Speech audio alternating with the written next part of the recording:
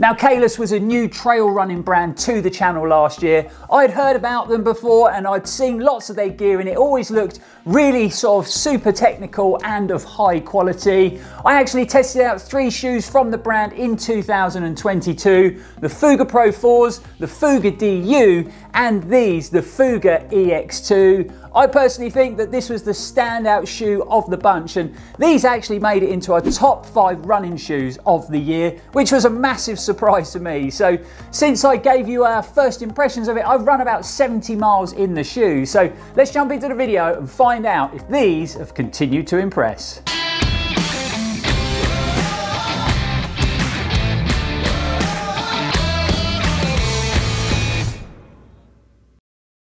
Welcome back folks, I'm Lloyd Purvis and this is Run for Adventure. Thanks for joining us for another video and don't forget if you enjoy what you see to hit that like button and subscribe to the channel if you haven't already. It only takes a second to do, it's completely free and it is greatly appreciated. Recently, we uploaded our first episode in an exciting new series on the channel where we're going to be following my preparations for one of the toughest 100 mile foot races in the UK, uh, the Arc of Attrition. Uh, it's definitely worth a watch, so if you haven't seen it, I'll leave a link in the description so you can check it out. Okay, so before we get stuck into how these bad boys have performed, I'm just going to give you a few stats and we're going to break down the construction in a bit more detail. So the shoe retails for 160 US dollars so around about 140 pounds here in the UK. Weight wise, weighs in at 318 grams in a UK men's 9. It runs on an 8mm drop, so we've got 36mm on the heel and 28mm under the forefoot. And when it comes down to sizing, I'd say it actually sizes up a bit on the big side. So I've actually gone down half a size to a UK 9 and it fits my foot shape like a glove. And I'd say it's got average width in the toe box. When it comes down to the construction, we've got lots of interesting things to talk about. So let's start with the upper first. So Kailas have decided to use this lightweight, wear resistant engineered mesh in the upper. We've got lots of TPU overlays placed around the shoe, including this anti-impact toe bumper to give you good levels of protection when you're out on the trails, but also to help when it comes down to durability. For me, just the right level of padding around the ankle collar and in the heel and in the gusseted tongue. So offering good levels of foot comfort while still allowing you to get a good hold around your midfoot and a good lockdown in the heel. When it comes to lacing these up, the EX2 has a pretty unique lacing system. So there's no standard running shoe laces in these.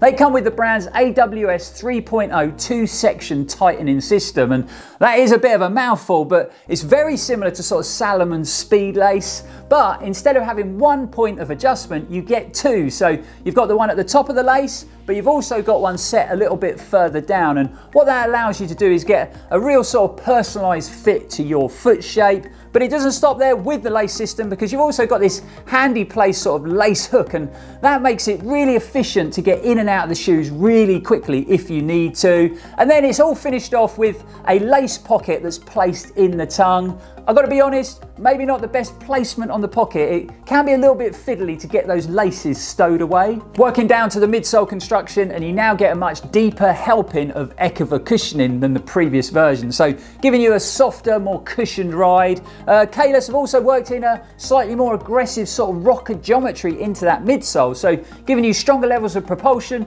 making the EX2 feel nice and efficient when running distance. And we've got an update to their four point gaiter attachment attachment system. So making it really straightforward to attach a pair of gaiters around the upper to help keep out that dirt and debris from the shoe. And finishing up when it comes to construction, we've got the all important outsole, or should I say the all important muddy outsole, but I'm really happy uh, to see that bright yellow Vibram logo on the bottom of a trail running shoe, especially when it's their super sticky compound mega grip. Uh, that's been paired up with a 4mm multi-directional lug pattern, so we've got forward facing accelerated accelerating lugs on the forefoot, and then we've got reverse facing decelerating lugs on the heel, just to provide the runner with good levels of grip and traction no matter where they choose to run. So there you have it folks, a bit of info about what goes into producing the Fuga EX2. Now with the shoe making it into our top five running shoes of 2022, obviously I've really enjoyed running in them, but let's go into how they performed in a bit more detail. And firstly,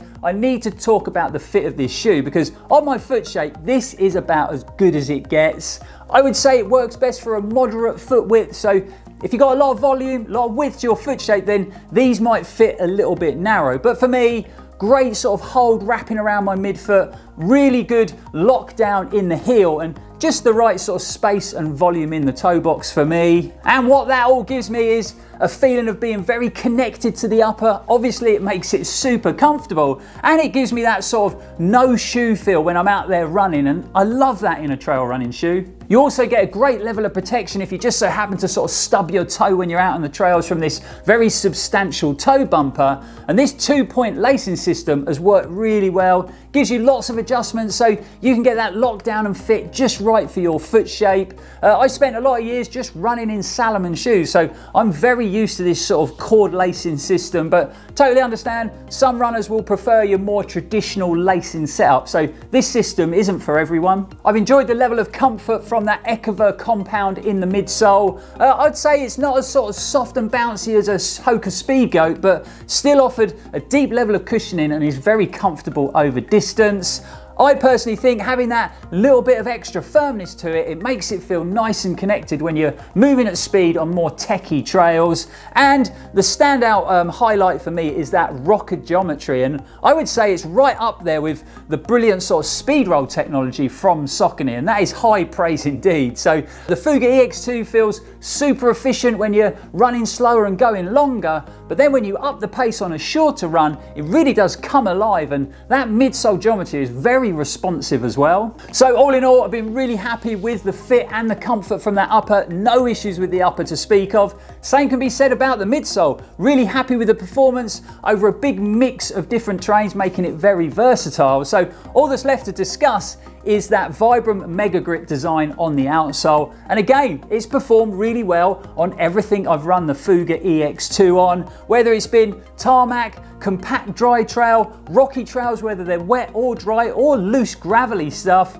Being a 4 mil lug, Maybe it does struggle a bit for traction in sort of really deep boggy sections, but it still hasn't performed bad in the mud. So again, just a, another very versatile feature of this trail shoe. Like I said at the beginning of the video, these have been a big surprise for me last year, and I've been spending more and more time running in these shoes, but we've reached that point of the review where we need to get some points on the Run for Adventure board. So we're gonna start scoring, and as always, we start with price. So with the Fuga EX2 retailing for around about 140 £140 here in the UK, I personally think for the level of performance, the build quality, and the fact that it's a very versatile trail running shoe, I actually think that's pretty good value, especially when you compare it to sort of all the other trail running shoes on the market that it's competing with. So the Fuga EX2 at Run for Adventure is going to score a solid 8 out of 10 for price. Up next is comfort and performance, and I can't really fault these when it comes to that. I've really enjoyed running in it, a great fit on my foot shape, very versatile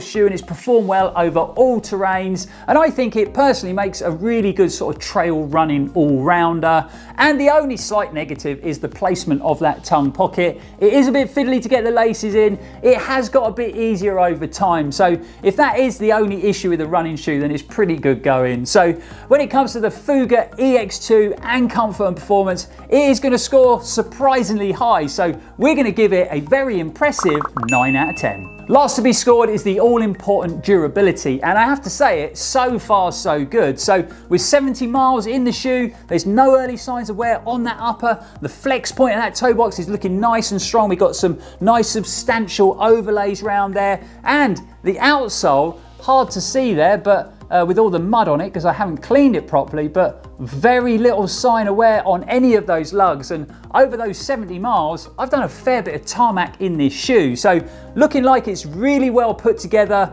So it's going to score strong. We've got strong scores all the way across all the categories. So for durability, it's going to come in with a solid 8 out of 10. So when we tally all those points up for the Fuga EX2 from Kailas, they are going to score a very respectable 25 out of 30. When it comes down to looks, now I know this isn't the most important thing when it comes to our running shoes and it's definitely not top of the list. We never want to pick a shoe on looks, but you have to agree with me, this is a good looking trail shoe.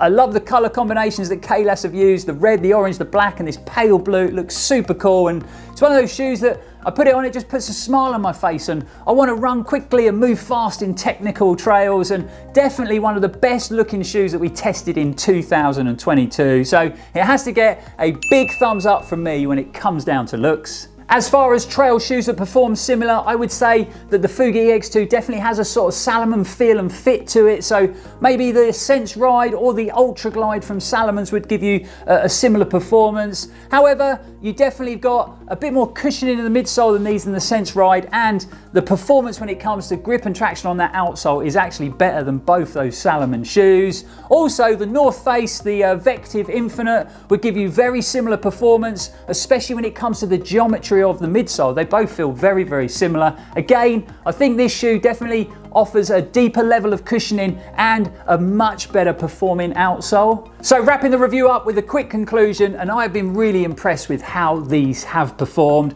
They can pretty much soak up any underfoot condition, so making it a really good sort of one-stop shop when it comes to your trail running shoes. Long sections of tarmac, if you have to do them to get to the trails, no problem. And then very comfortable over distance at slower tempos, or very responsive when you want to up the pace in a quicker, shorter session. So if you're in the market for your first ever pair of trail running shoes, or you're looking for a really good sort of trail all-rounder that can handle lots of different distances and terrains, then I would definitely recommend checking out the Fuga EX2 from Kailas in a bit more detail. That's another positive trail running shoe review wrapped up here at the channel. Really hope you enjoyed it, really hope you found it helpful. We got some great trail running shoes heading our way as we speak to be reviewed, so keep your eyes peeled for that. And we've got episode two in our exciting new Arc of Attrition series dropping on the channel soon, and I can't wait to show you that. If you've been running in the Fuga EX2s, then it'd be great to get your feedback, guys. So how do you feel about the shoe and the performance? Let us know all about that in the comments below. But that's for now. Thanks for watching. Thanks for supporting the channel. It is really appreciated. We'll be back here very soon. And as always, stay safe and keep on running. Let's go into how they performed in a little bit, little bit more. First up, got to talk about fit because this shoe on my foot shape is about as good as it gets. I would say they work best for a sort of moderate foot width. So if you've got a lot of volume, if you've got, I'm just making words up. If you've got a lot of volume, a lot of volume and width to your foot shape, whatever that is,